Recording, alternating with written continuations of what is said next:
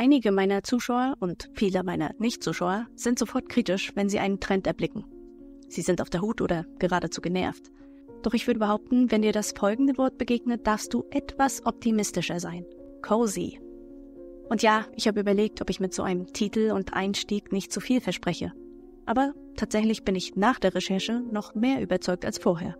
Alle hochsensiblen und introvertierten Menschen sollten wissen, was Cozy bedeutet und wie sie es für sich nutzen können. Cozy ist das englische Wort für gemütlich.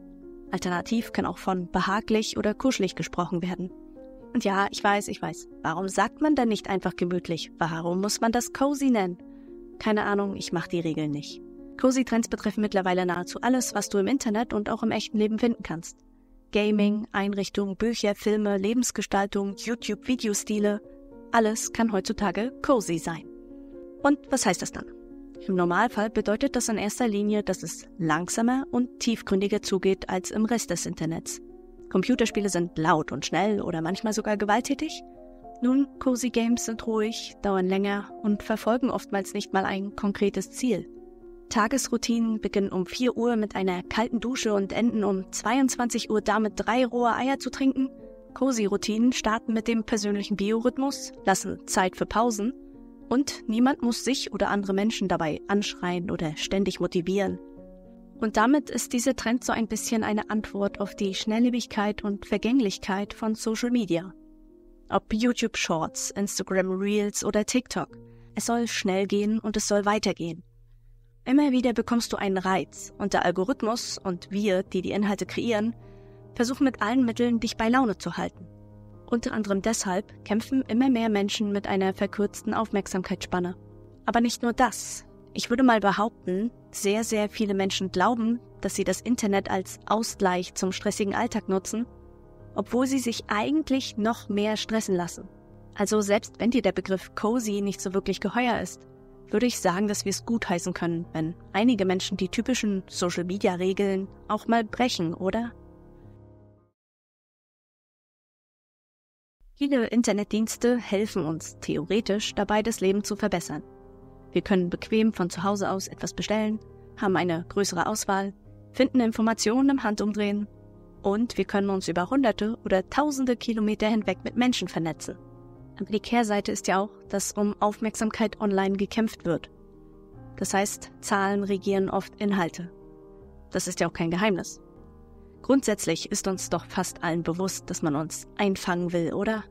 Nur über die Konsequenzen wird irgendwie nicht so richtig gesprochen. Da wird immer gleich auf die Extreme gegangen. Internetsucht, Falschmeldungen, Betrug, das sind große Themen. Aber der Durchschnittsnutzer fällt wahrscheinlich nicht auf billige Tricks rein und bekommt auch keinen Herzrasen, wenn das WLAN mal ausfällt. Und wenn man so drauf ist, denkt man natürlich nicht, dass man ein Problem hat. Das heißt ja aber nicht, dass die Art und Weise, wie digitale Inhalte gestaltet sind, keinen Einfluss auf uns hat. Und das löst Stress aus. Negative Meldungen, Streit, ständig wechselnde Bilder und Sounds, das ist alles andere als gut, wenn wir es auf Dauer konsumieren. Es gab schon immer YouTube-Kanäle, Blogs und Menschen, die das nicht mitgemacht haben. Nur sind sie eben auf die Ausnahme. Durch die Cozy-Trends ändert sich das ein wenig. Gerade Menschen, die achtsamer mit ihrem digitalen Konsum umgehen wollen, dürfte das freuen. Denn es geht ja nicht darum, das Internet oder Social Media abzuschaffen, sondern darum, es wieder zum Vorteil zu nutzen. Es geht darum, dass wir kontrollieren, was wir sehen und aufnehmen und nicht umgekehrt. Gemütliche Inhalte sind da genau richtig. Du musst die Vorzüge des Internets nicht aufgeben. Du kannst dich unterhalten lassen, etwas lernen und dich mit anderen austauschen. Aber eben tiefgründiger und achtsamer.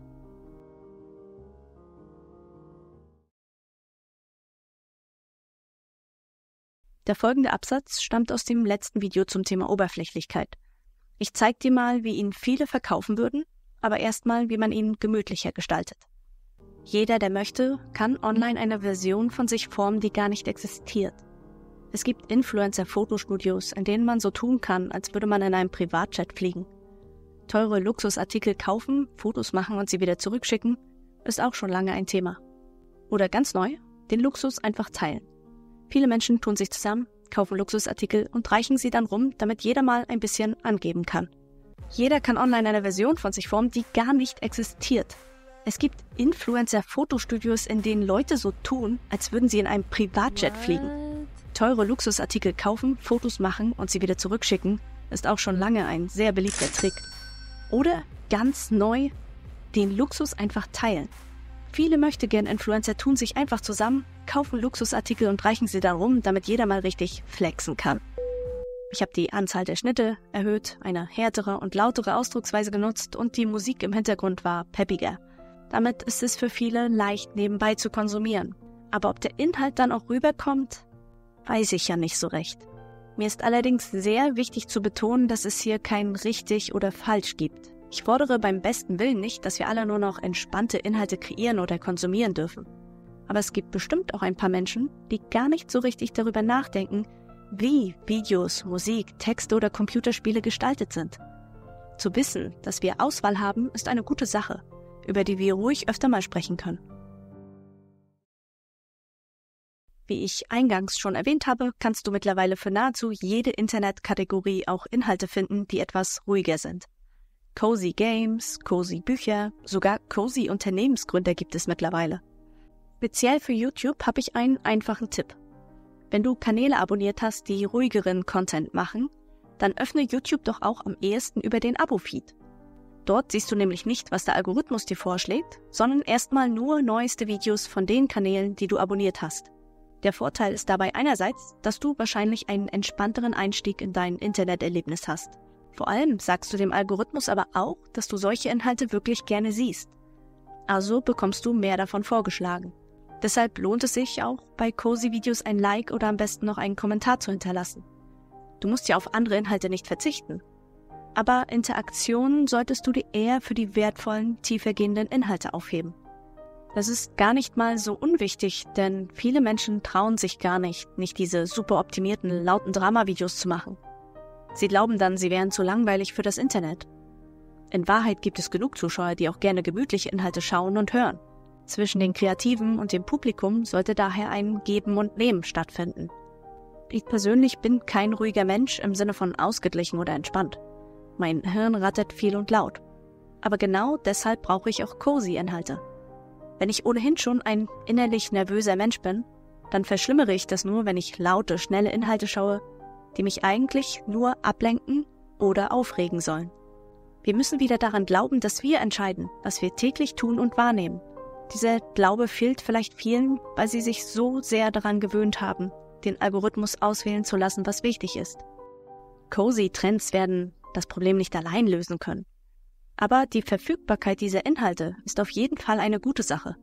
Ganz besonders für diejenigen von uns, die die Oberflächlichkeit und Schnelllebigkeit der Welt als Belastung wahrnehmen. Wenn ich Menschen bitte, Kommentare dazu zu hinterlassen, was sie in ihrer Freizeit oder als Ausgleich zum stressigen Alltag tun, dann wird ganz oft von Zeit auf der Couch gesprochen oder vom Lesen, von Fahrradtouren oder Waldspaziergängen. Gemütliche Dinge eben. Unter meinen Zuschauern sind wenige Leute, die ihren Alltag unbedingt mit viel Adrenalin oder völliger Betäubung ausgleichen wollen. Wie so oft gilt also, wir leben vielleicht alle auf demselben Planeten und gehören zur selben Spezies, aber unsere Bedürfnisse unterscheiden sich einfach hinzunehmen, dass das Internet ein lauter, unübersichtlicher Ort voller Drama und Hass ist, heißt auch, uns das zu verwehren, was wir wirklich brauchen. Und manchmal ist das, was wir wirklich brauchen, eine ruhige Stimme, angenehme Musik, wenig Drama und eine gute Zeit, die uns nicht noch mehr erschöpft. Wenn du Kanäle auf YouTube kennst, die deiner Meinung nach cozy Inhalte kreieren, dann immer her damit. Deine Empfehlungen könnten anderen Menschen helfen. Danke für deine Aufmerksamkeit.